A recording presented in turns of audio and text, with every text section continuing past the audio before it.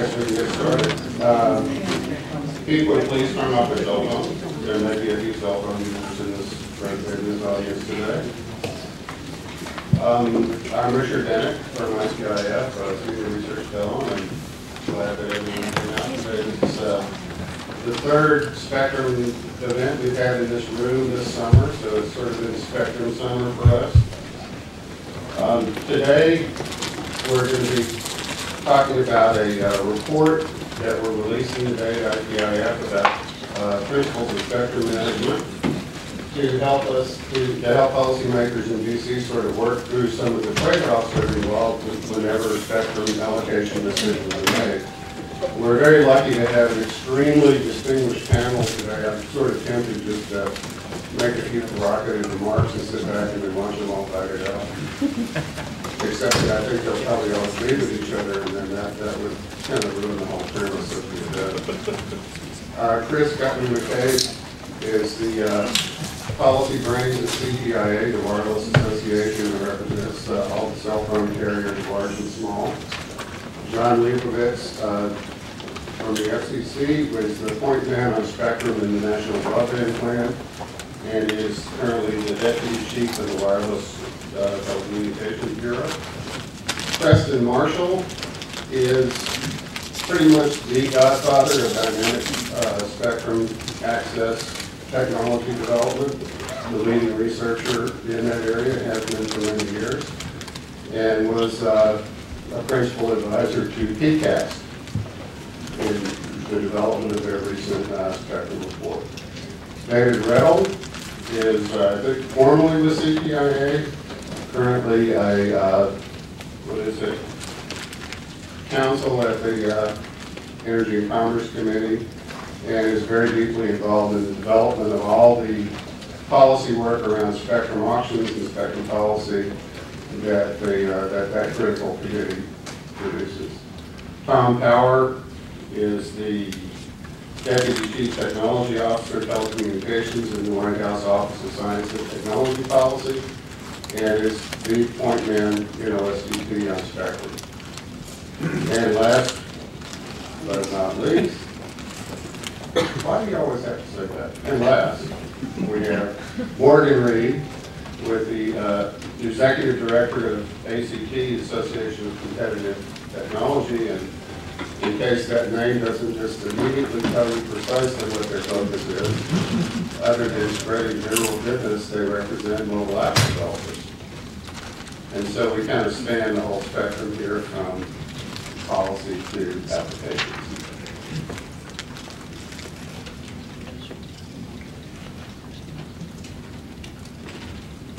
So, um, at the opening ceremony of the Olympics, there was a sort of dramatic moment when seven billion pieces of confetti were released above the stadium.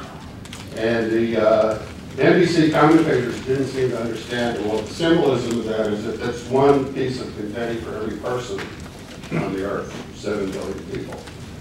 Well, five billion of those pieces of confetti represent people that use cellular devices. And so the, uh, when we say mobile revolution, it's not, that's not an exaggeration. There really is a profound transformation that's taking place around the world with the advent of mobile technology. It's even more profound, I think, than the impact that the internet has had so far. Uh, so this is a new era in computing that has launched a, uh, uh, modes of, of using computing that are communication oriented, that are social, that extend the senses, that allow us to, to see video images, to capture and share video images with each other from uh, around the world, wherever we are. And it's a dynamic system compared to sort of the computing paradigm that we had before the mobile revolution, which was more desktop now. So spectrum management has to support this new form of computing, mobile computing. And to do that, it has to dynamically adapt to patterns of usage. It has to support emerging applications. It has to embrace new wireless technologies, serve the needs of users, And so we need to, to sort of understand the business of allocating spectrum that regulators and legislators do in order to support, you know, this new form of interaction with each other and with our technology. So spectrum, briefly, I the wrong, oh. Electromagnetic, it's select, I mean, the, the paper goes into sort of describing what spectrum is and what the choices are in terms of how, how it's utilized and, uh, and all that. So I'm not gonna, not gonna get into that right now, the definition. And how do we manage spectrum rights is actually the critical question for policy. The traditional way was for regulators to assign particular patches of spectrum, which is to say, a right to use the electromagnetic spectrum in a particular place at a particular power level in a particular frequency at a particular time. And it led us to the fragmentation that's evident in this map. And of course, inefficient allocation creates scarcity in some places and creates abundance in others. And so it's the difficulty in when we undertake this problem statically is coming up with a, with an assignment of rights that is understandable uh, and is stable enough that it promotes investment, people that people are willing to build networks that consist of 100,000 towers uh, within the United States, um, but also have the flexibility to adapt to changes in the way that, that people are using the system. And uh, the completely static methodology is sort of not really doing that for us. So um, in looking at the different controversies around spectrum that, that are, that really come down in the last couple of years and, and the things that seem to be in the pipeline, it occurred to me that um, every spectrum allocation decision is a trade-off. Policymakers aren't necessarily aware, or certainly the, the orders don't indicate that they're fully aware of all the trade-offs that are involved. There are certain factors that you're gonna optimize whenever you, when a policymaker makes a particular decision to say assign, uh, the D block to public safety. Uh, they're optimizing and creating certain opportunities, but they're denying others. And in looking through these trade-offs, it, it, it, uh, it occurred that the thing to do is to isolate what the primary trade-offs are, to describe them, and then we can actually start to use principles of sound spectrum reallocation as a means for grading decisions that are being made now and in the future that affect uh, spectrum rights. And so these are basically the 10 principles. Um, And I'll, I'll go into those in a little bit more detail. Now sharing, obviously, I think sharing and the sort of, they're not necessarily rank ordered, but sharing is certainly high on the list. Um, And most desirable allocations are those that can be shared by large numbers of people. Now, within the spectrum policy discourse, spectrum sharing has come to mean, I think for a lot of people, one network sharing the same piece of spectrum with another network. But, you know, there, there's another kind of sharing that's so obvious that it, I think it kind of misses the, our attention, and that is that when uh, a commercial network operator has a license, has an exclusive license to a particular patch of spectrum, the issuing of that license doesn't prevent the spectrum from being shared. In fact, it actually enables that spectrum to be shared by the, say, 100 million customers that Verizon and AT&T have each. Right? So networking, communication doesn't take place unless there's some sharing. I can't call you on the telephone and, and make sense out of what you're saying unless your phone and my phone share some piece of equipment somewhere in the path between the two of us. So when, when um, the advantage from a technology standpoint, of issuing an exclusive license, is that the holder of that license actually has the ability, because they, there's some, their access to that spectrum is deterministic, they have to worry about um, interference caused by natural sources, caused by sunspots and, you know, other kinds of electromagnetic activity. Um, They have to worry about the variations in usage that, that their customers experience.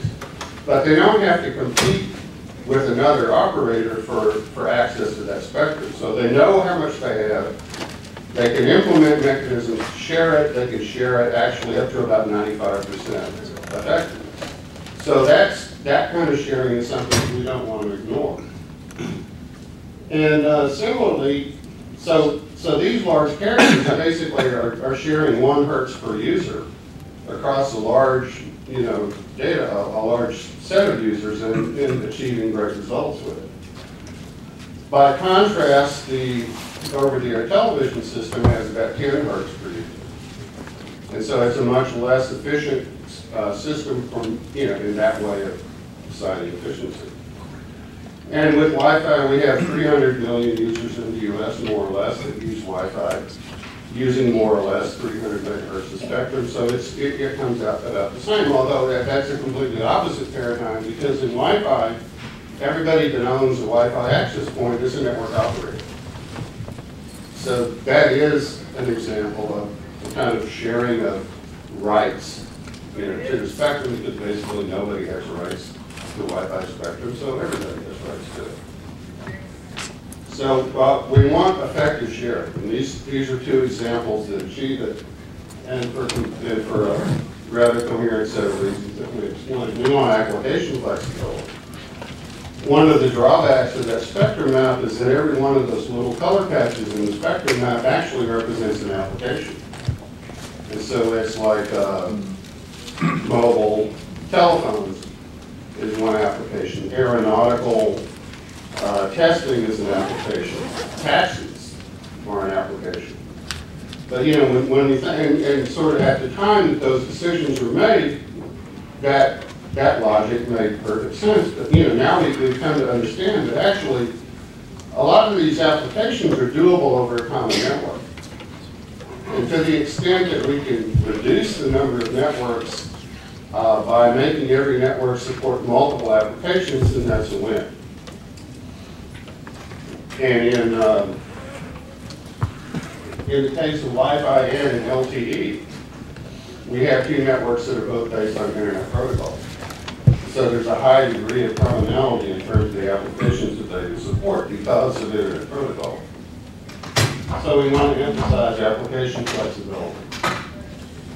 Uh, As I alluded to earlier, one of, one of the, the- the sort of principal inefficiency problem with spectrum reallocation is the fact that some allocations are not being used very heavily and others are used over heavily.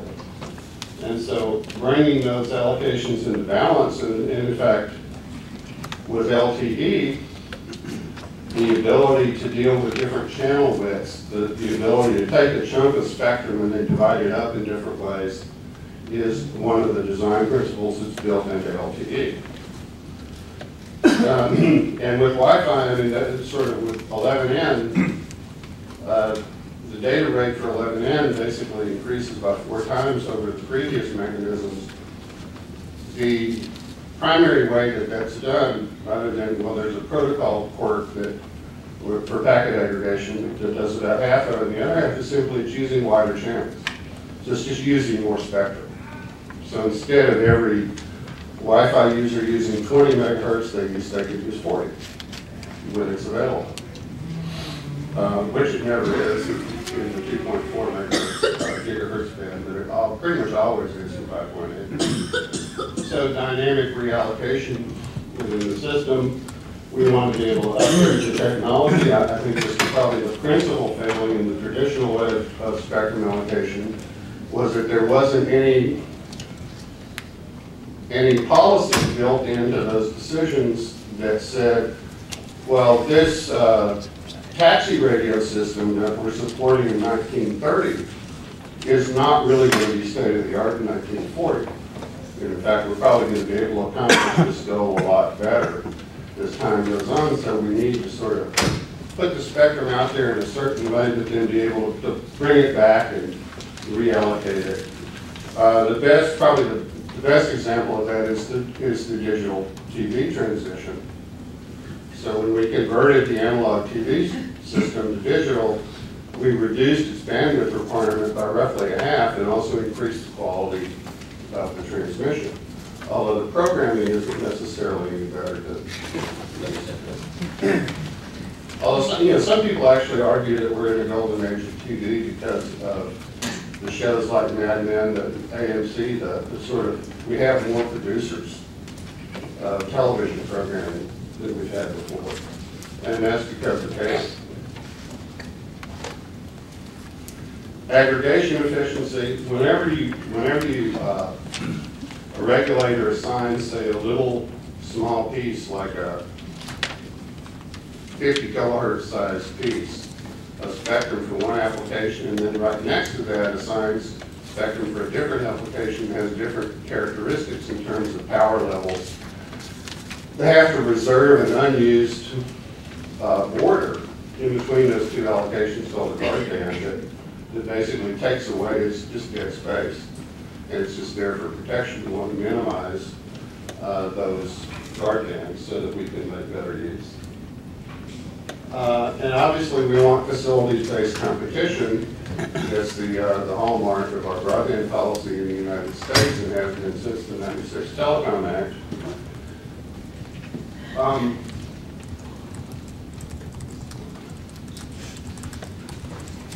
Although some people don't think it's working, you could argue that it certainly is based on the fact that, say, in 2009, Akamai ranked the US 22nd in average internet connection speed, and in last year, we're up to 13th. So jumping from 22nd to 13th, even in a country that wants to be number one in everything, um, is certainly a movement in the right direction. Seventy percent of the LTE users in the world are in the United States right now. And LTE is, aside from radio technology improvements, LTE is the first time that cellular system has had internet protocol as an essential component of it. So the way that before LTE, internet access was sort of an afterthought in the cellular network. With LTE, it's primary. And so that's the convergence of cellular and internet technologies, it's a huge thing. Um, And the United States is leading the world in LTE adoption. And we don't, you know, we don't hear about that so much. But with, uh, the problem with facilities-based competition in wireless space is because spectrum is the critical input into the wireless economy, spectrum is a limited resource. On the one hand, if we wanted to have the absolutely most efficient, effective use of all the spectrum, we would only have one cellular operator. They could, because all these factors of for aggregation efficiency and uh, sharing across multiple users and all that stuff would be optimized if you just had one big carrier. Maybe we could call it Mobile. No, we wouldn't do that. But, but uh, that's obviously achieving, you know, the, the efficiency is not the only goal. You also want consumers to have low prices, you want to have competition between carriers, you want to have an incentive to adopt new technology. Because, I mean, that's kind of what we learned from the, from the uh, telephone monopoly era, was that uh, when you, you sanction a monopoly, whatever the services that you have in place when the monopoly is sanctioned, those are pretty much going to be the same set of services that you have 50 years down the road. Which is, you know, what happened with, what happened with telephones, it's what happens with electricity, it's what happens with water and sewer, you know, so that shouldn't be a surprise.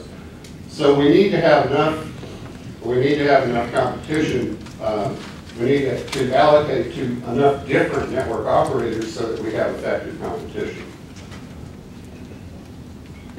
Uh, high-performance receivers are finally starting to receive some attention for a long time.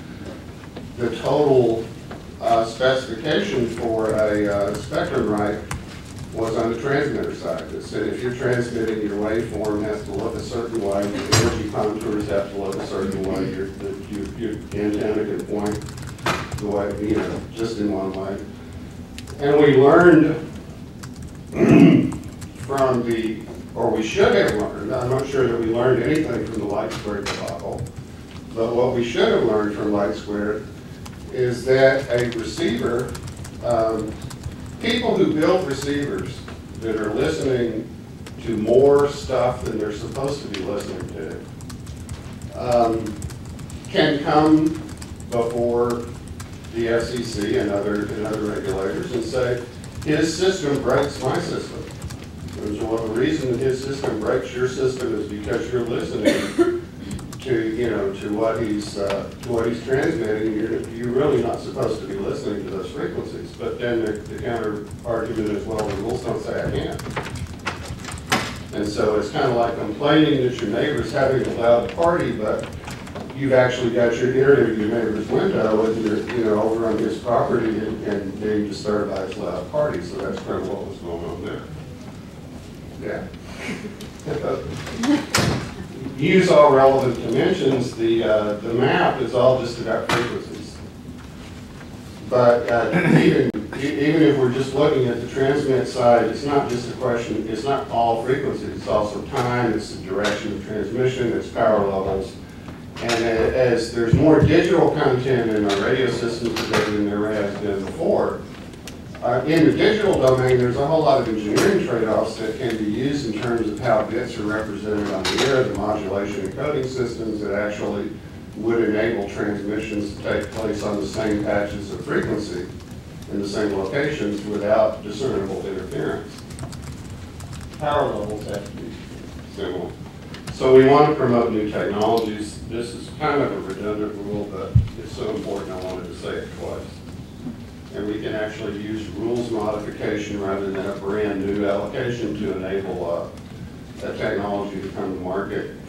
For example, um, Sprint has some 800 megahertz spectrum that was allocated to uh, push talk, and they want to use LTE on it, but the way the rules on that were written, it was actually little tiny uh, chunks of, uh, in the- some, some number of kilohertz, that we forget. 25 kilohertz, see, that's enough. Um, And 25 kilohertz isn't enough to really do anything with LTE, so they just erased, they just changed the rules on it. Didn't have to give it to a different party.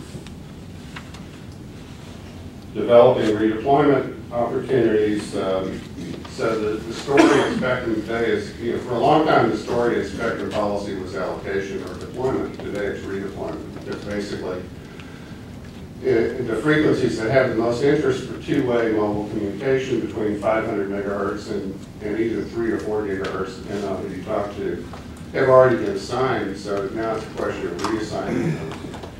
And the uh, redeployment of spectrum that has been allocated, a couple of examples, over-the-air television, basically any, any service that's uh, a two-way service that's satellite-based, that just didn't pan out. You don't want to do two-way services over a satellite except as the final um, fallback after all the more desirable ways have been exhausted. Um, So in the DTV transition, we found that doing a technology upgrade, which is actually pretty massive when you think about it, right? All the television sets that had to be uh, not, not necessarily replaced, but in principle, they really had to be replaced, either replaced or front-ended by a converter box. Um, That was a huge undertaking. But it, it's an undertaking where it was the new digital technology that enabled the spectrum to be freed up and also improved the service for everybody. So it's something we couldn't really say no to. So, uh, uh, one of the stories from the Olympics, uh, other than the opening ceremony, the, in the, uh, the men's road racing bicycling event, there were one of the few events in the Olympics that people could go to without buying a ticket. So a million spectators came out to watch the event. And the commentary on it was particularly bad. I mean, most people probably don't watch a whole lot of bike racing. Um, I've been watching it lately. A friend of mine was actually the first American to finish in the top 10 in road racing in, uh, ever in 1976, one of my neighbors. Uh, he works for Qualcomm, actually, doing wireless stuff, you know, his name is George Mount, look him up in Wikipedia. Kind of, kind of, he didn't, he didn't know him, he's going to be really embarrassed if he finds out, so I don't tell him. I'm gonna tweet about it, that's what it Um, So the commentary was really bad because uh, apparently, especially on BBC, the the commentators didn't know who was in the lead. They didn't know what the gap was. And the reason was they were depending on a mobile network to deliver that information to them. But these million spectators along the the route of the race were all taking pictures and and tweeting and uploading pictures to Facebook. And so the one particular, one of the, the three major mobile networks in the UK was just so overloaded that it couldn't deliver the information to the BBC that they needed. The other two were doing just fine. Uh, and so they actually put out a message and they asked people to not tweet things that, that weren't urgent. Uh, But then they also did realize that they needed to have, uh, to switch carriers. So that's what they did for the, for the women's race the next day, which, which went fine. Of course, the rain probably helped a little bit too. But, so it, so here we have an example of, it's spectrum being shared because these, you know, these million spectators are basically all using common facilities. But, you know, it still can be overloaded.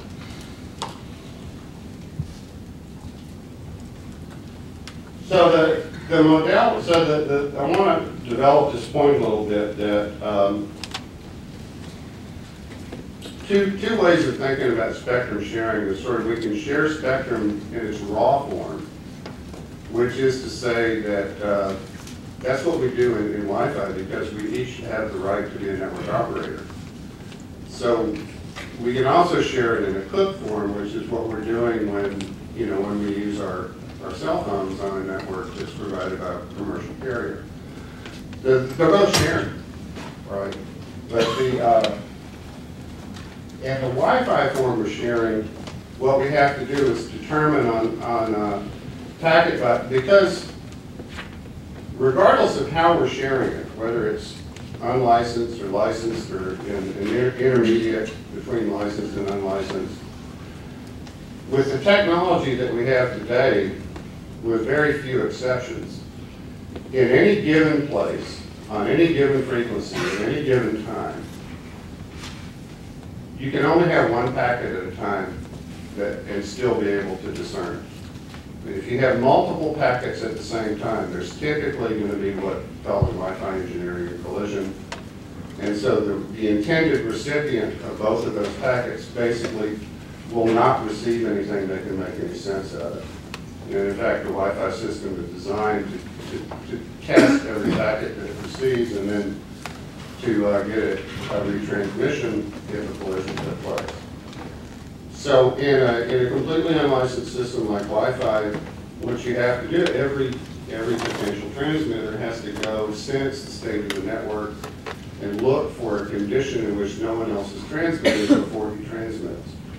And in doing that, um, because they, they're not sharing information with each other, the users of the Wi-Fi system, so 30 Wi-Fi users in an office are all trying to, to download uh, the same cat video from YouTube. They don't share with each other the fact that they want to, that they're going to make a request for a, for essentially permission to transmit, which is what you're doing when you're sensing the air before you transmit that that's going to be followed by another request, and it's going to be followed by another request, and another request, and these things are going to be spaced out at some interval. We don't have a way to share that information with each other, so we're constantly having to, to re-establish what the state of the network is before every packet is transmitted. And the overhead of doing that means that essentially uh, 50 to 75 percent of the network's capacity is devoted, is dead because potential transmitters are having to, to look for that free network before they can transmit. And the length of time that they have to discover that our sense the network and believe that its free corresponds to the physical scope of the network because it's determined by the speed of light. Uh, As the data rate increases, when the data rate increases, the length of time that each packet occupies decreases, but that carrier sensing time does not decrease because the speed of light's not getting any faster. So that, you know, if there's an, and there's an inherent inefficiency involved in that. So sharing uh, Cook spectrum at high data rates and over large distances is more effective, but at the same time, we don't want a a regime in which the FCC has to explicitly assign spectrum to every Wi-Fi access point. So that's a fundamental tension. So however, whatever kind of sharing you're doing, you know, we're still up against the one packet at a time limitation.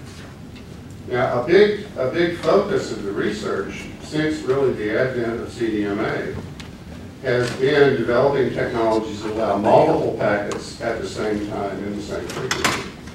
And CD, I mean, CDMA actually achieves that, but there's a, there's a trade-off because of the way it achieves it. And some of the research suggests, however, that uh, it may be possible, in fact, in a couple of demonstrated systems using a technique called orbital angular momentum, we can actually achieve multiple packets at the same time transmission without any loss of effectiveness. And researchers claim because this is a quantum effect that uh, deals with, with quantum states in, in a system in which there are potentially infinite quantum states, that we could actually have infinite spectrum capacity.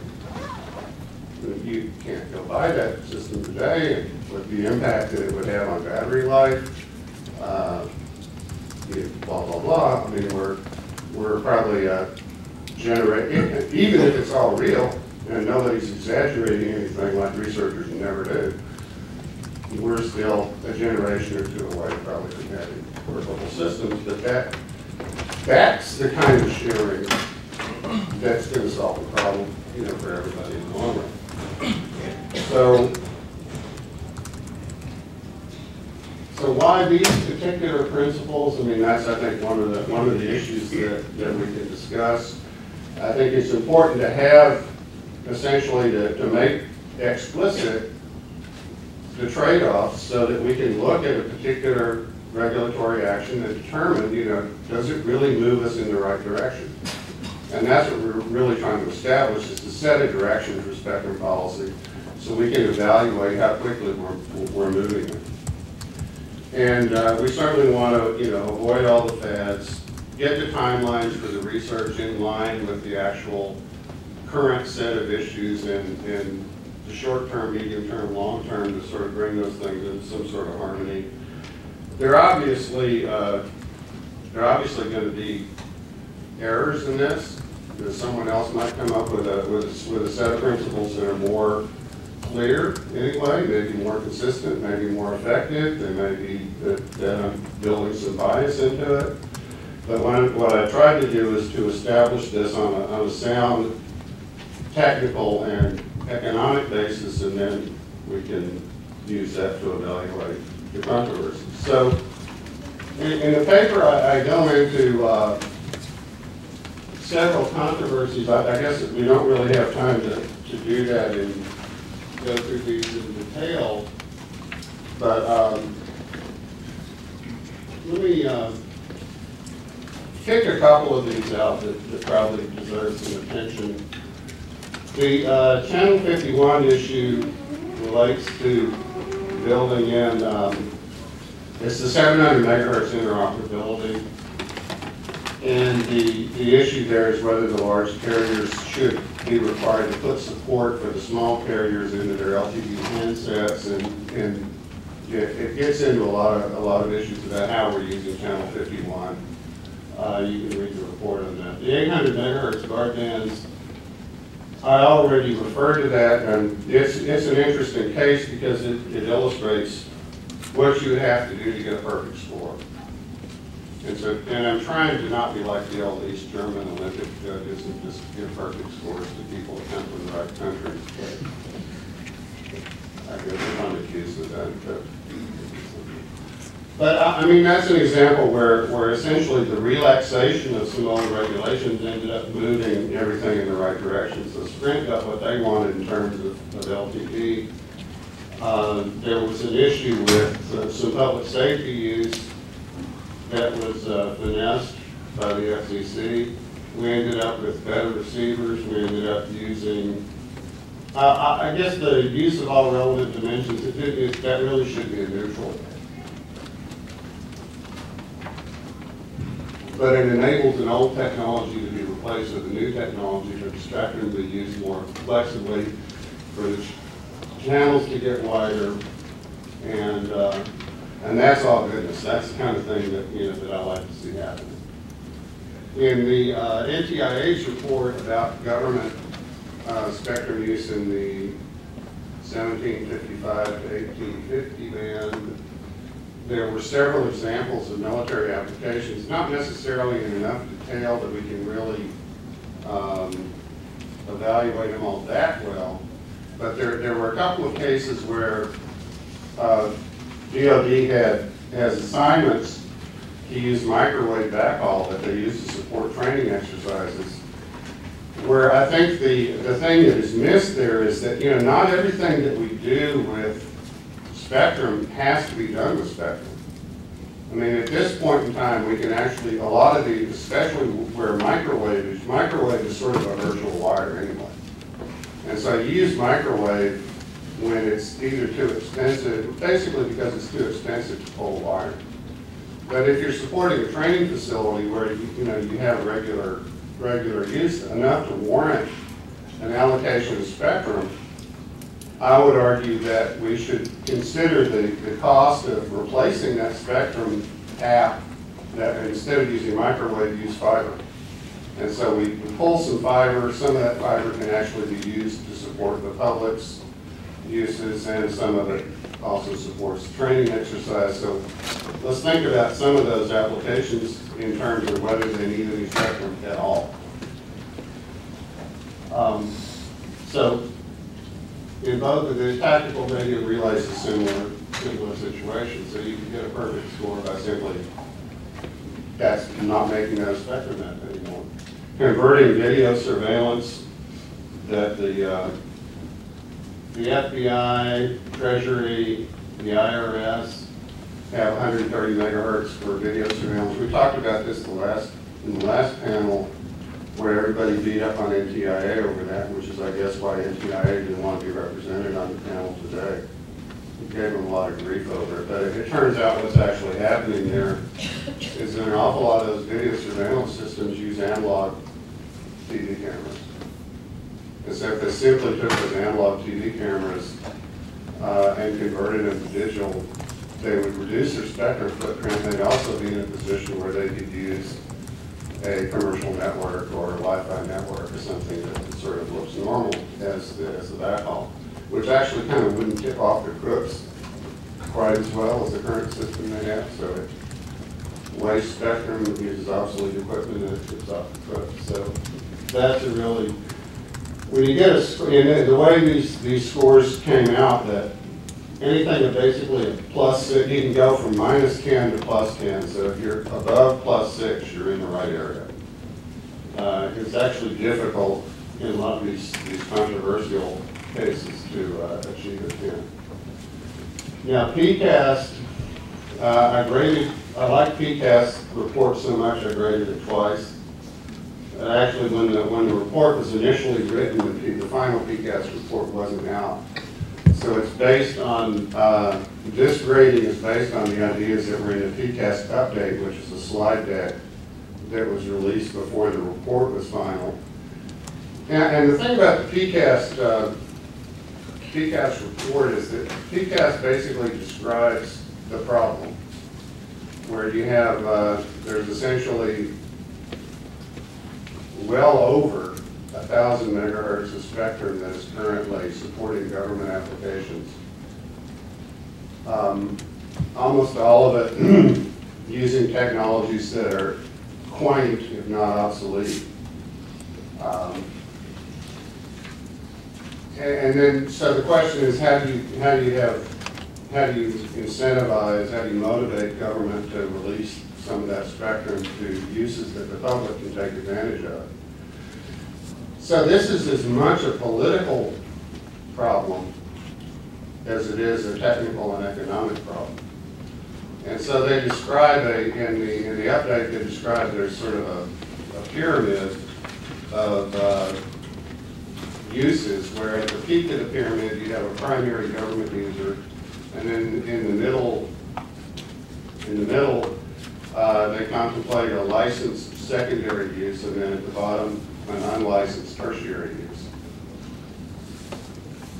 Um, And I, I like that because it certainly, a licensed secondary use, I think, enables uh, a lot of those free, and it also turns out that the government was smart enough to jump on the best frequency early on. So they're, they're using an awful lot of, of spectrum in the, in the, uh, from say fifteen hundred megahertz to, uh, thirty-four hundred, which is the same spectrum that, that we want for mobile, mobile networks, so they're smart enough to get on that. The, the update suggests a way, or it seems to, to emphasize the, uh, a set of motivations and a system that would allow commercial use of, the, of that spectrum. And, and I think in some of these allocations where they're not using it very heavily at all, the opportunity for using it commercially, I think is, is very, is very great. Uh, But then, when the final report came out, and actually, this is a typo, the total score should be a two, it shows I don't do arithmetic. You know, I think we had the same typo in the report, but, uh, tried to get that changed. It, it was just sort of the, I talked to, to Mark Gorenberg, who was the, the guy that led the development of the report, and he said, well, so you're objecting to our body language, uh, not to what we're saying, because the, um, they're trying to tread a fine line where there's an understanding that there's kind of a, a clash of uh, interests. I mean, certainly Defense Department, you know, has a very important mission, right? Uh, We don't want to just say, you're gonna have to do a bake sale every time you build a bomber. I mean, it's not, it's not, that, that's not what I'm proposing, but the same kinds of incentives that work in the commercial private sector don't work in the government sector. So you, how do you, how do you motivate the Defense Department to replace an aging system with a more up-to-date system? And how do you, how do you encourage uh, a government department that has free spectrum today to uh, just give up their free spectrum and replace that with a system where they have to pay, make payments to use, you know, AT&T or Verizon's network? I mean, and that's, that's tough. Yeah, that's a tough problem. What's the argument for that? Um, and so there, we get into all these different ways to finesse that, which, uh, might include the, proposal that we made for the public safety network, which is to essentially allocate some spectrum as a public safety networking endowment, and then sublease that spectrum to commercial operators and use the revenues from the subleasing to pay for the cost, to mitigate the cost of providing the service, so that we don't, now, just because a government department or government application needs to use a network, doesn't mean that it has to be the operator. Doesn't mean that it has to have its own network of towers. Doesn't mean that it, doesn't mean that it needs to provide its own backhaul. And, and of course, those issues with the public safety network are, are actually gonna become critical between now and the time that the thing is actually implemented.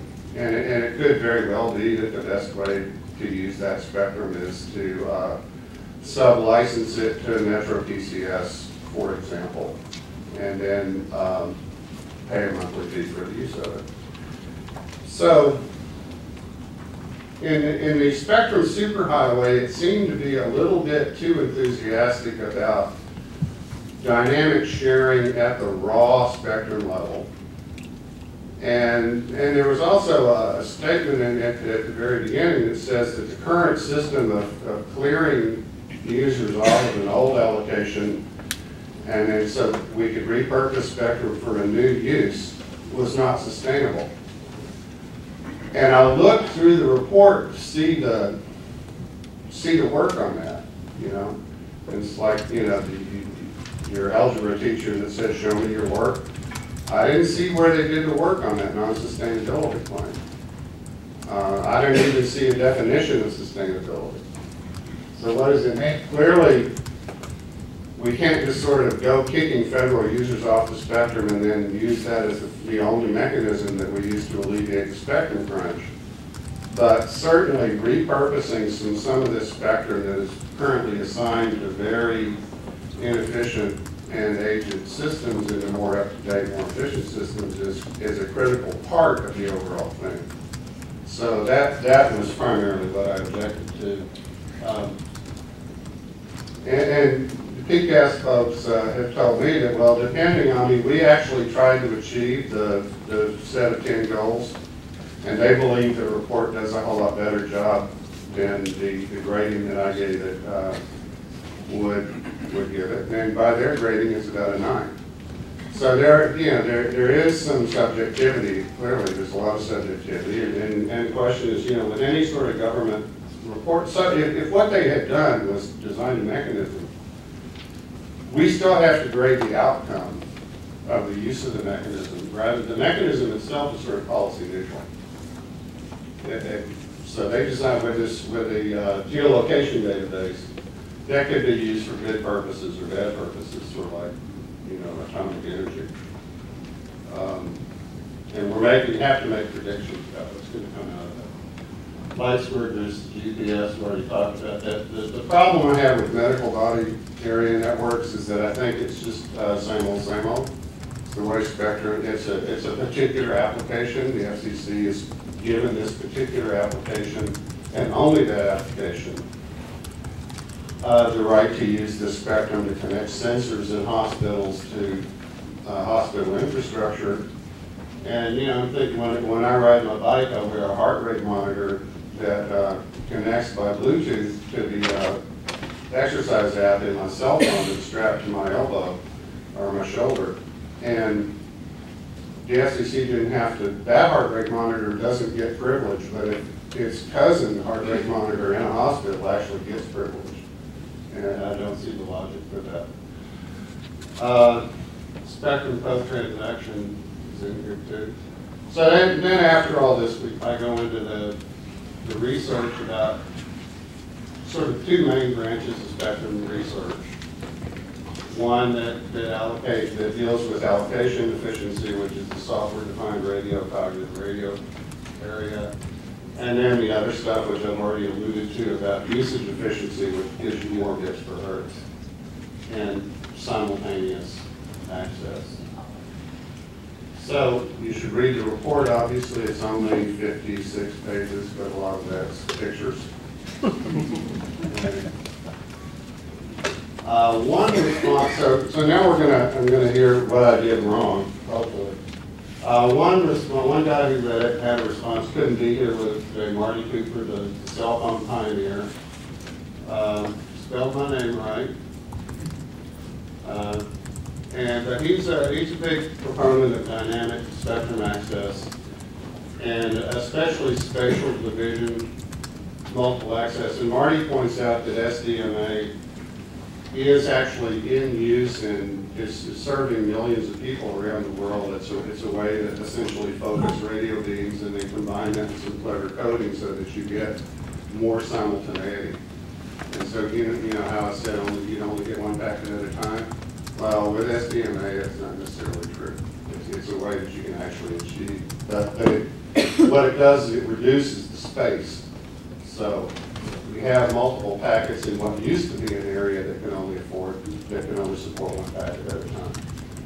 And Marty's a big fan of cognitive radio technology, but he believes it's ten years away uh, from practicality. And that's his report. So,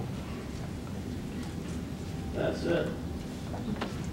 And, uh, I survived, I've talked too long, but now I think we can hear from our respondents, and I think probably the best way to do that is just, just go in order. Fantastic.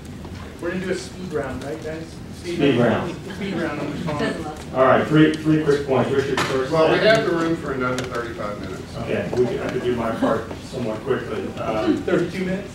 Yeah.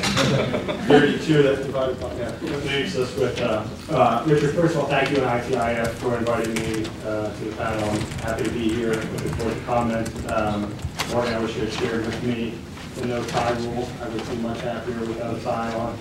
And uh, John, I want to make sure you paid particular attention to uh, Richard's point about clearing channel 51 as a plus eight. We need to focus on that. Um, so I, I, think anytime that we have a paper or a panel on looking at spectrum allocation, spectrum assignment, uh, spectrum efficiency, we're, we're winning, right, as a, as a wireless industry and as a country. Once we look at these issues, put them front and center, and begin to have a discussion on them, I think that's a positive. Uh, Looking at sort of taking what Richard presented and taking it up to about the 20,000 foot level, I kind of look at it like uh, the Robert Parker of spectrum review, right? He, he's giving a grade to uh, each, not, not everyone will agree with the grade, not everyone will even agree with the concept of grading.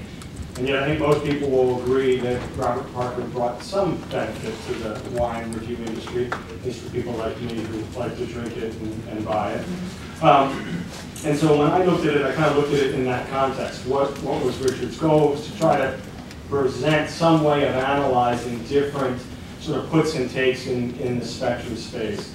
Um, and, and uh, you know, I have to say, I most quickly zeroed in on his thoughts about, about the PCAST report because it's occupied a fair amount of my uh, thought process recently, trying to get a sense of, of what was uh, what was being presented, um, what was actually in the over 100 pages of the, of the PCAST report.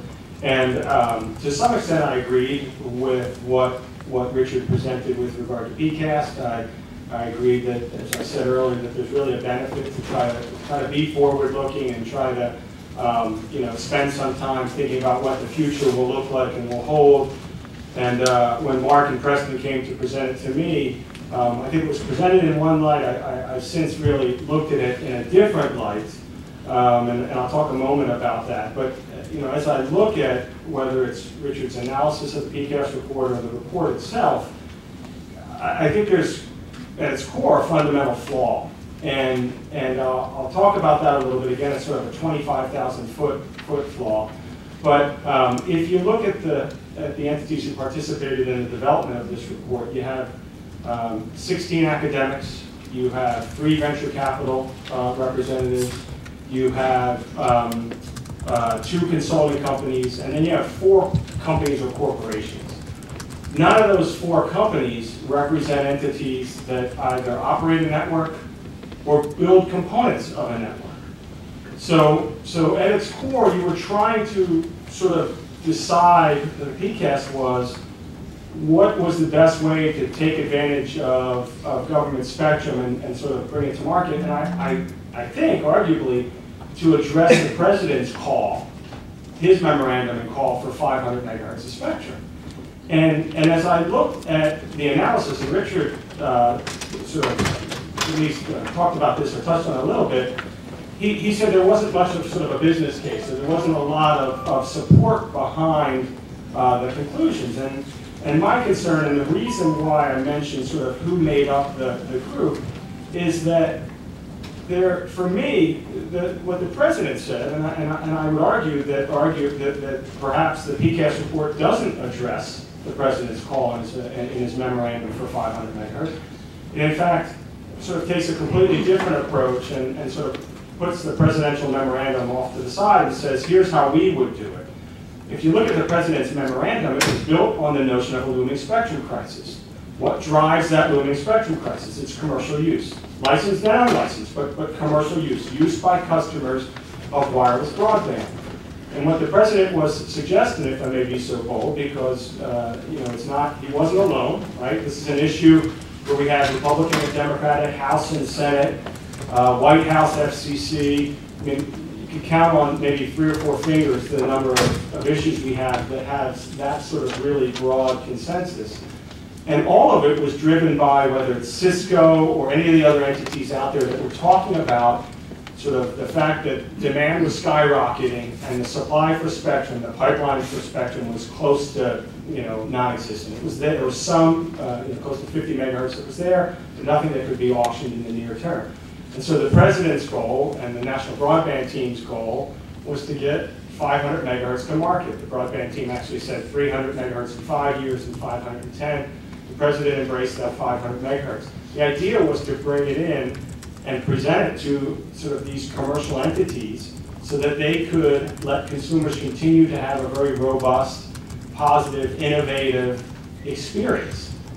And you look at what came out of the PCAST report, and it is a wholesale revision of how spectrum is brought to market, how it's utilized by companies, uh, how it's auctioned, how it's assigned, how it's you know, licensed or not.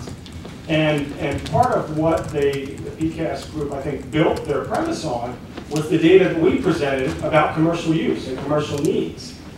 And yet I don't think they, they solved that. At least certainly they don't solve that in the near term.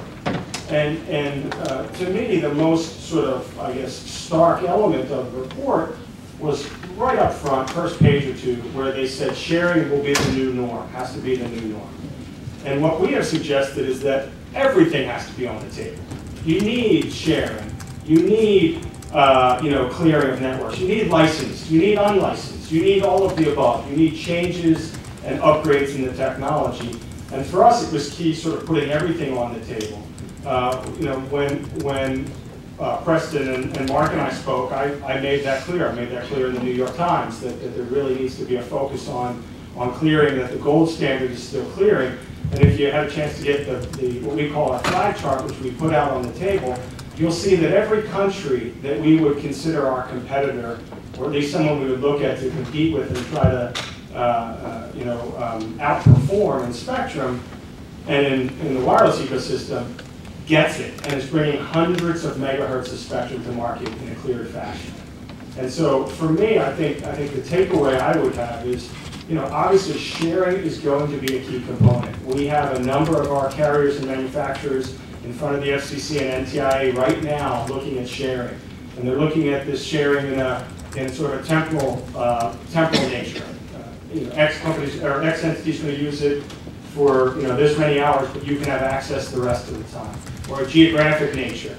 We're going to have a satellite earth station right here, but you can use spectrum around the rest of the, the country. Or they're look, looking at it in a sort of a compatible use. What are, what are two uses that we could put and use simultaneously? Um, going forward, we clearly do need to investigate the intelligence sharing, the cognitive, the, you know, the cognitive approach.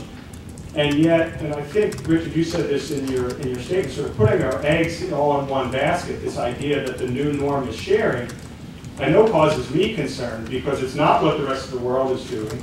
Uh, it certainly isn't going to drive any short-term spectrum to market. And it's something that, that I'm not sure people have presented a real business model, a business case for just yet. And that's key, not only to address the looming spectrum crisis, but to help sort of lift us out of this economic morass that we're in. It's, it's finding ways to incentivize companies to continue to invest, to continue to drive capital expenditures. So um, I would say, uh, you know, kudos to Richard and kudos to the PCAST team for, for making us think sort of a little bit outside the box. I like the idea of putting uh, what I call sort of the uh, Robert Parker scoring mechanism to, to some of these spectrum decisions. And uh, I look forward to, I've read the paper, I look forward to hearing some of the other commentary and and I, and I do, I look forward to seeing sort of uh, how the administration continues to move forward uh, as, you know, as we digest, we all digest the PCAST report.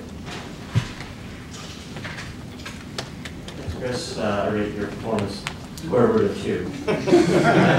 um, so, well, thanks, uh, Richard, for, um, for inviting me. I just want people to know the bureaucratic, bureaucratic blandness between Chris and press here. Um, I do want to say we do appreciate the perfect score on, on 800 megahertz and uh, a medal ceremony some point outside afterwards. Um, I think that, I think the idea of having a set of principles to inform effective policy is obviously a good one. Um, you know, principles are a way to kind of give you a sense of where you're going and whether you're making progress along the way.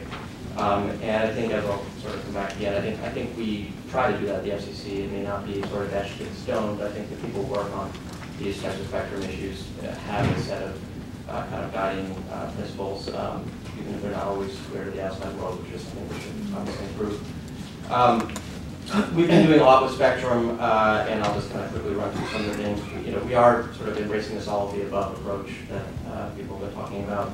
Um, You know, in general, we're working on sort of three parallel paths. We've got a path devoted to removing obstacles to spectrum use, so that's the 800 megahertz band, the uh, AWS-4 proceeding, the WCS work that's going on.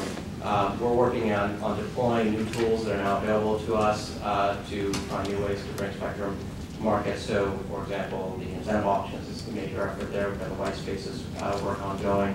Um, And we're looking at new frontiers and ways to kind of uh, add to our toolbox over time. Uh, So we're looking at spectrum for small cells.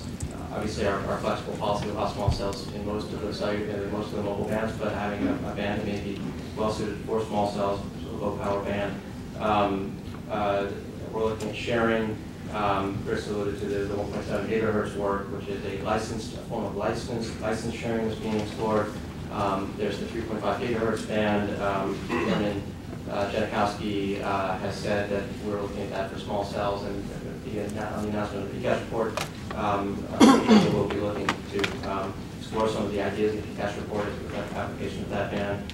Um, And then the 5 gigahertz band, which we know is very important to the unlicensed community as a as a place for Wi-Fi, uh, and expanding the usability of Wi-Fi. Um, I think we have to remember that, especially for the spectrum that we're talking about mostly here today, the, the, you know, below three gigahertz, below four gigahertz spectrum, it- it's not a tabula rasa. Um, we're working with bands that have really complicated, complex, um, backstories, um, sometimes tortured backstories. And so while I think it's tempting in, you know, especially in these kind of settings, to talk about some of these approaches and concepts in the abstract and which one is better, which one is worse, I think at least the way I look at it personally, is um, there are different approaches that work in different contexts, and different bands have different sets of facts on the ground that lend themselves, uh, in different cases, to different types of approaches for making them useful uh, for commercial use. So, i- i- to give an example, you know, unlicensed was a natural fit in 2.4 gigahertz band, the ISM band. Um, You would not have wanted to put a cellular system in that band. Similarly, cellular was a natural fit in DTV spectrum, uh, was they could have the DTV transmission. So our approach, I think, at the FCC is, is pragmatic uh, fundamentally. Um, We're trying to build on what's worked in the past. We're also trying to uh, allow for innovation, for new things to, you know, new approaches to take shape that may be uh, what, you know, is is needed in the future. Um, As our chairman has said, that we are committed to finding free and clear spectrum where we can, uh, when we can. Um, And we're also excited by the PCAST proposals uh, that I mentioned, the 3.5 gigahertz band. Um, And then, of course, there are in, there's a lot of room in between, you know, the, the, I mentioned this one point seven gigahertz, that's, I think, a really interesting, uh, new frontier, which is kind of not getting maybe as much public discussion, but there's a lot of people hard at work on that. Uh, it's a good example of public-private partnership between industry and government to see if there's a way to make that work. Um, so back to the principles, you know, I, I think, you know, I can't comment on the ten individual principles, but, uh, you know, I think overall they tend to make sense. You know, we, we tend to, tend to try to find larger blocks of spectrum rather than scattershot piecemeal, uh, spectrum. We try to, you know, um, think about and just try to learn from experience and take the learnings from one band and apply them going forward. And I think you'll see some of that uh, as we, um, progress on some of these uh, major initiatives that are underway. But I just want to remind everyone that the FCC, you know, operates under a statutory framework, so there are restrictions on us um, in the law, and also in, you know, in an institutional framework. So we have to cooperate with other agencies, and particularly when you're talking about spectrum sharing, that involves the federal agencies, the NTIA, the administration, and there's a lot of partnership and hard work that goes into making sure that everyone's diverse set of uh, interests uh, can be achieved. So um, with that, I'll pass on the pressing of of the controversy to Well, thank you very much, Richard, for inviting me. I don't say so much thank you for giving me five minutes to answer an hour of criticism for the PCAST report. I think most of the uh, controversy revolves, and perhaps the best thing for people to do is go read the report. Unfortunately, it's much longer than Richard's and it's not as pictures. But um, the, the fundamental point of departure is really the idea that the PCAST walked away from the idea of free and clear auctions uh, to go to a totally new regime. I don't think it really did that. It's completely quiet on free and clear. In fact, if, you can make spectrum free and clear, certainly some of the incentive auctions offer that opportunity. Um, there's nothing in the PCAST report that says don't go do that. What it does argue is that you built a bow wave of federal systems that will become increasingly difficult to relocate. Um, The evidence for that, we didn't put in the report because who wants to read the NTIA report twice? Once is more than enough for most of us. But, but there's a strong set of arguments, and to some extent, they're, they're just the fact that they're strong arguments is sufficient to say that slogging through those systems to relocate whole bands to free, to auction them free and clear is going to take you a long time. Um, The National Broadband Plan listed a set of auctions, if you average them out, they're eight point two years from identifying spectrum to putting it into use. So, so clearly, going to federal bands and saying that's the quick fix for, for pumping spectrum into the system didn't look particularly attractive. It's true, there are some areas, seventeen fifty-five, I know the cellular industry has a lot of interest in, maybe twenty-five megahertz um, can be done, that that violates that. But that's five percent of the five hundred megahertz that the president laid out as the objective, and, and not really the relevant. In the end, the report's argument was going and trying to clear whole bands of all possible federal users is extremely difficult, expensive, and time-consuming and doesn't put spectrum in. Therefore, make use of the same points Richard made. A lot of federal systems aren't using that spectrum everywhere. DoD uses a lot of spectrum out west. It can't use cellular because when it goes into South Sudan, there won't be cellular there. But when I drive between Las Vegas and, and LA, my cell phone dies, not because there's no spectrum, but because there's not a whole lot of users out there that want to use it. There's no density problem there. Let the DoD use that spectrum, don't sell it, don't reallocate it. But in New York City, that spectrum's available right now. Let's get that into the hands of innovators, cellular companies, backhaul, what other applications. The work that the FCC has done on TV white space offered in right now technology of the white space databases that would enable you to put a record out to say, this spectrum's available in the city. Is it the most efficient way? No. Is it as cool as the DSA technology we built at DARPA? No way. But it's something you could do right now. It's something that would be effective at putting spectrum in people's hands two and a half times faster. And so the PCAST report said, let's start a different thread for putting spectrum out there. Doesn't walk away from free and clear. If you can do that, great. Um, everyone appreciates the revenue. Um, everyone appreciates the better QoS. But you've got a lot of spectrum that's not going to fit that model or not going to fit that model in the next decade. And that was really the focus of the PCAST report, is let's find another strategy than slugging it out with the federal agencies. So let's, let's think about what happens if we do that. If we do that, we don't have to fight and say everyone moves. We can go to a particular user of spectrum and say, if you auction that spectrum off in this micro auction, the secondary status, then you create a revenue stream, exactly like what the D-block proposal that Richard had in endowment. So we can monitorize federal spectrum without having to clear all of it. We create a revenue stream on it. We create a way to pay for those upgrades. Or more importantly, something that the spectrum policy, the Spectrum Relocation Fund doesn't really contemplate yet, Matt. Uh, the ability to say, I actually want to trade spectrum for services. And so by, by using spectrum sharing and creating a new class of spectrum right, this exclusive shared access, we create a way to monitorize something today we can't monitorize, and then use those funds to feed back into more efficient federal spectrum usage.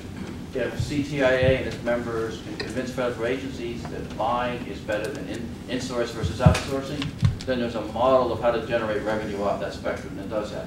And it's a model we could do within three years.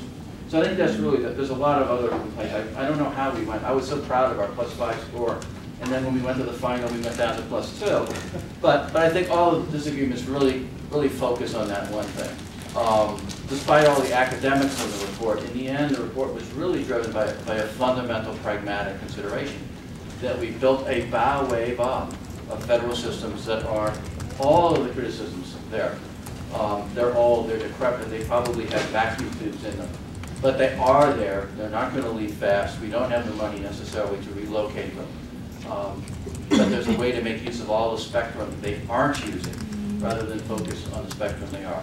And I think that's really the point of departure. I think once you get past that one issue, then, then a lot of these other points kind of, we can work out in the wash.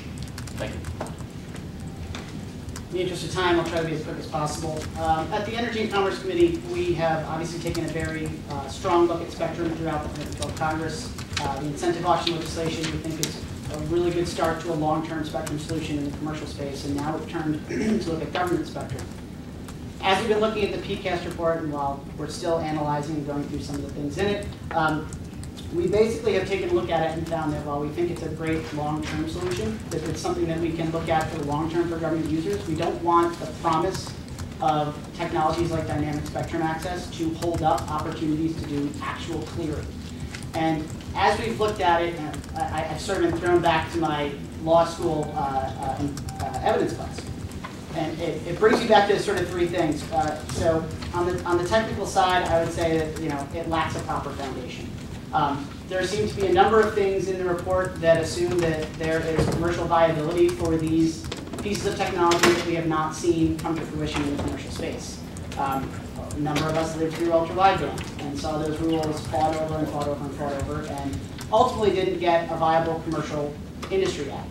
Um, as we move forward, we'd like to be able to see that there is some justification for some of the statements in the report, like these are now available or will be available in the short future. Um, Looking at the, the economic space, I think it assumes facts, not amendments. Um, It assumes that there is a market for a piece of spectrum where you are sharing with unlicensed on the bottom end, and you may or may not get access from government on the top end. I think we've, we have some experience with this type of right structure, and we saw it in the 700 megahertz D block. We asked the commercial industry to go to auction and bid on spectrum rights that were subordinate to public safety. It didn't work. No one was willing to pay for it. Here, we're asking for an even more stringent test. We're asking for commercial providers to purchase spectrum rights subordinate to national security and sharing with unlicensed users. Um, I, I'm not sure that there's evidence in this paper, in the PCAST paper, that shows for us that there's an economic viability to that model, that someone's going to step up and invest the billions of dollars it takes to build out a mobile wireless broadband network in that space. Um, and, and lastly, you know, I'm sort of led to the last one is hearsay, which is the, the, the justification for us saying that we can't do clearing in the short term, it's not politically viable, it's not technically, technically viable, is the NTIA report. The NTIA report, as they stated before our committee, is based with no analysis on what the agencies have told NTIA is their spectrum need. Um, GAO did a report on this sort of path, and, and we've seen that there's no one really checking to see whether the agencies are using spectrum in the smallest footprint they need. Um, and until we sort of go back and, and take a hard look at the analysis that underlies the foundation of why we are saying we should stop looking at 500 megahertz for reallocation and start looking at 1,000 megahertz for sharing, I think we should look at whether or not we can make our, uh, our first plan work instead of sort of rolling the dice on an untested technology uh, as what we're banking our wireless future on. I think I've seized on the solution.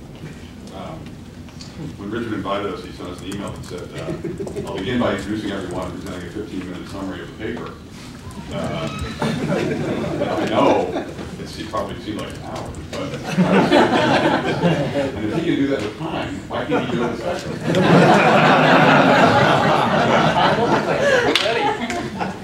Um, So I will continue the law school analogy. Um, You know, I'm just really glad that- that these issues are being discussed in fora like this and with folks like you in the audience. Um, Back in law school, when you took the essay exam, it it was really a a exercise in issue spotting. And it- it you this complicated fact pattern, and if you got all the issues, you know, you would get seven out of 10 points just for identifying the issues. And then if you wrote pretty well and organized it well, you might get another couple points. And then if you were right in your answer, you might get a 10 point. You know, at the end of the day, uh, it was just the, the, the, getting the right answer at that point was almost an afterthought. Where we are now with Spectrum, frankly, I, I'm just really enthusiastic that folks like Richard and ITIF and the PCAST and lots of other folks are identifying the issues and putting them out there for debate. Um, and I think uh, it is a, um, uh, a question of uh, multiple tools at our disposal and pursuing multiple avenues to solve this problem. Uh, Sharing, uh, as well as exclusive licensed spectrum, um, unlicensed spectrum, uh, it's all of the above, as, as uh, a couple of the panels have said. And, you know, from the administration standpoint, since the president put out his memorandum of June of 20, June of 2010, uh, the, the uh, NTIA and the agencies they've been working with uh, have, have looked at the 3550 band, uh, the 1695 band, those were the first two almost two years ago. Um, The the 1755 band has gotten probably the most attention, certainly the most interest from the commercial side. There are now five uh, working groups looking at that because there are uh, 3,200 assignments, uh, federal assignments in the 1755 to 1850 band, so you need a lot of different teams because those assignments uh, cover all sorts of different types of systems that need to be solved. Uh, And, and again, they're looking at sharing, but, but the report, the 1755 report specifically said, here are systems that could be cleared. Um, uh, They're also looking at the 5 gigahertz band, which is uh, uh, uh, presumably going to be a licensed service. Um, When T-Mobile stepped up on behalf of the uh, industry and said, uh, let's look at testing uh, of sharing opportunities in the vicinity of actual federal systems, the Defense Department responded and has uh, offered a list of uh, sites where that could happen. We had the legislation, which, uh, in in addition to authorizing and funding and providing spectrum for the public safety broadband network, also created opportunities for commercial use of that spectrum, as uh, I think Richard described earlier, the the auctions that the FCC is working on, uh, incenting commercial providers of non-broadband services to uh, make that available for broadband. So I do think it is, it is all uh, hands on deck uh, and, and an all the above approach. Um, And when it comes to the technology, again, it's, there are lots of approaches here, but we've had exclusion zones uh, uh, for a long time. That's a form of sharing. Uh, Databases and white spaces that the FCC is uh, pursuing now and implementing now. Uh, You get to some of the more advanced um, uh, technologies, the dynamic sharing, uh, cognitive radios, uh, perhaps do more emphasis on on different architectures involving small cells. Um, There's a, there's a sentence in, in the report that says policy has to work with reality. And I think that's exactly right. And I think as we do that and as we work through all these different options, we will find ourselves eventually getting to the right solution. I mean, physics at the end of the day is what's going to dictate this. Um, uh, So I think when we talk about these reports that, that, that at some level seem to be competing, I don't know that they really are. I think it's more nuance and emphasis and timing. And, uh, and when I talk about timing, I note that the report, uh, uh, the ITIF report at one point uh, says, the prudent course is to deal with today's problem today while actively supporting the technology that we will use tomorrow. Makes sense. Uh, There's a quote attributed to Marty Cooper where he basically says it's hard to look out more than three years given the rapid pace of technology. And then the report concludes that says uh, we should be adopting principles that reflect the best understanding of spectrum usage uh, technology as it is today, and as it will be in the next five to 10 years. So I agree with all those, and it's just a matter of, you know, what is coming into focus uh, right now, what's coming into focus uh, a little bit farther out the horizon, and, and then how much emphasis we put on things that are five to 10 years out. I- I- Those are all reasonable timeframes. The president's memorandum from, from two years ago recognized that. He said, let's find 500 uh, megahertz of federal, non-federal spectrum that could be made available for wireless broadband within 10 years. Uh, Obviously, we want to make uh, as much of that as- available as soon as possible, but the recognition was it would be 10 years to success it. Um, uh, I guess the only other uh, point I would touch on is, um, in terms of uh, efficiencies or inefficiencies of existing government uses, surely uh, uh, uh, improvements could be made. Uh, Richard made the point that not all uses have to be via spectrum just because they are via spectrum today.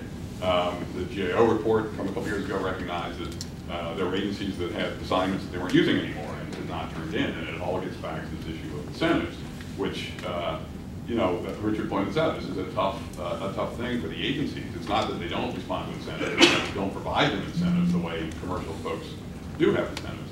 Uh, The regional legislation helps this a lot uh, by allowing uh, uh, essentially expanded uh, use of the Spectrum Relocation Fund so that agencies, when they do relocate can use the funding, not simply to get back to the status quo, but to actually invest in better uh, hardware and software so there's actually an upside for them. I think uh, the PCAST report uh, does a good job of looking at this too. It sort of acknowledges the, the basic challenge, but then talks about a, a spectrum currency, which is kind of a shadow currency that uh, would measure efficiency gains and allow uh, agencies to, to translate those uh, efficiency gains into spectrum currency, which they can turn into the real revenue. A lot of details to be worked out there. Uh, But I guess at the end, in in the interest of time, this is the end, um, I'll simply say, I I do, uh, I do think, I I remain optimistic. I think uh, there's actually a lot of consensus up here. Um, uh, And and we find uh, you know, we're, we're driven to find ways to disagree with each other, but I do think, I do think, you know, it- it- there's, there's physics and there's time, and there's, only, so many variables we have. So, uh, I appreciate, uh, Richard, the, the report, the opportunity to be here, and, uh, the comments of my colleagues here. So I'm here to talk about why, why this is happening. Why are we here, sitting in this room, sweating it out? Oh, we got air conditioning. I've got about five minutes. My folks are the implementers of all of this spectrum. We make the mobile apps that you all have. I don't even need to show hands to guess that pretty much everybody here has a smartphone at one level or another that deals at some level or another with applications on it. And those applications use up spectrum like nobody's business. As you heard, as you read, we've seen spectrum increases of 9,000%. 9,000%. And that's awesome. Because that means jobs. My folks make the apps that run on your phones, that, that allow them to hire more people, that allow them to build entirely new business models in this platform and in this space. So I thought it was interesting that Preston talked about a bow wave. Because I, I'm actually a sailor also, Preston, and one of the things that I know what you do when you have a bow wave, if you're, if you're in a stink pot, is you add more power. And so when I'm, when I'm thinking about how we move forward this pressure, I'm telling you right now that those of you who are from congressional offices, you're going to see more pressure because the apps that our folks are creating, the next big wave of those apps, they're not happening at 99 cent apps playing Words with Friends. They're not game apps, they're not Angry Birds. They're in the medical health space. They're in the enterprise space. This device and devices like this are moving to every factory floor in the United States. Every hospital is adopting devices like this. Every business is adopting devices like this. And every app that runs on them uses Spectrum. I thought it was great that Richard Pa- Paper talks about the difference between nomadic uses, like Wi-Fi, and mobile. And so I think what we have to realize from Richard's paper is, is that we need to understand that the bow wave of pressure that Preston may feel um, from government agencies saying, no, it's mine, it's mine. Well, there's going to be a bow wave of pressure from constituents on members of Congress and members of the administration to say, hey, wait a minute. I want more of this awesomeness in my office. I want more of this awesomeness in my hospital. I want more of this awesomeness in my rural locations. And what I know from many years of sailing and even driving steam pots is what you need to do is add power. And so in that case, I really like the fact that the PCAST report, the PCAST report and others talk about ways to develop new threads. My only concern about the PCAST report is, as Preston uh, pointed out, was, well, we've done this report, we've already talked about the need to get more free and clear, so I'm going to focus on this thread. My only concern is, is that people focus only on the new thread element and pretend as though the free and clear, the clearing isn't part of the debate. It's, we all know that, that shaping the memo often shape, shapes the way people view things. So I think what's really important as we look at both the PCAST report and as Robert's, uh, as, as Richard's paper, is we understand that these are going to shape the way we think about it. And so we need to take that additional thread and move it forward. There were two things that I think that are worth mentioning as we look at this from the mobile apps perspective. Um, Richard talks about uh, finding a good balance on the number of competitors. My only concern is from a movie analogy, I, I don't want us to end up um, in a Highlander as the government starting to say there can be only three. You know, I think we need to recognize that uh, we're going to probably have a, a, growing and shrinking number of competitors in the spectrum space. There are going to be um, licensors of three, four, down to you know down to three, up to six, and it needs to be flexible. I don't think the government should be setting the number of competitors in that space. I think that raises risk. The other thing was I thought Tom, uh, Tom Thomas brought up a great point about predictiveness. Um, I, I, realized there was so much discussion in, in Richard's report and others about this 10-year window. I want to show all of you what was the biggest selling phone 10 years ago. It's a Nokia. 137 million of those sold. Leo, hold up your current phone. Not 137 million. Not 130. They, they want to sell 137 million. That's the new device. This one, very cute, doesn't use up a lot of spectrum. That one does. So as we think about the way we're going on this, we need to remember that um, your constituents are driving the pressure on that bow wave. And the fact that government agencies are concerned about uh, finding ways to get it clear in, in a timely fashion, tough. This is the time where the government has to put more power on it and start understanding that the needs are changing and that the constituents that they represent have new requirements in ways that will create jobs and create entirely new ways for us to, to face uh, problems that we didn't, uh, that we haven't had solutions to in the past. So I'm really cutting mine short because we're down to 35 seconds. So I, uh, I uh, I like what you did, Richard, and there's a lot of good stuff in there. And um, with that, I'll turn it over to Richard.